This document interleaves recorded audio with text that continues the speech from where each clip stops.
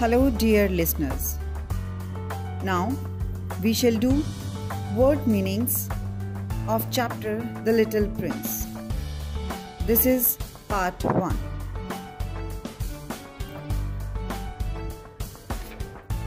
The very first word is primeval. It means relating to the period when the earth first came into existence. The next is boa constrictor. It means a type of very large snake. The snake which eats its whole prey in one go. Now you all must be wondering what is a prey? An animal that is food for other animals. For example, here fish is the prey of the bear. Pondered. It means thought carefully, thinking about the same thing for a long time. Pondered.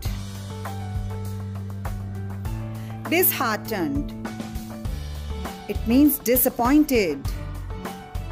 Feeling very sad and low. Tiresome. It means dull, boring, without any excitement and happiness. Consequence. Here it means importance. Otherwise, consequence means results. Intimately. It means very closely. For example, India and Sri Lanka are intimately related to each other clear sighted, intelligent, intellectual. Bridge.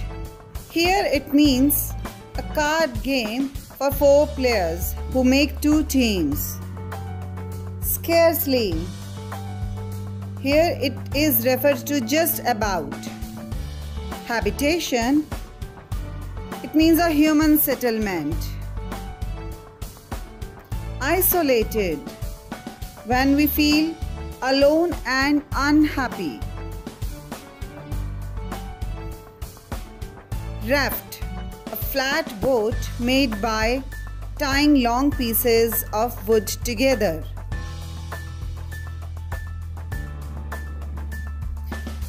Thunderstruck, it means shocked. Thanks for watching the video.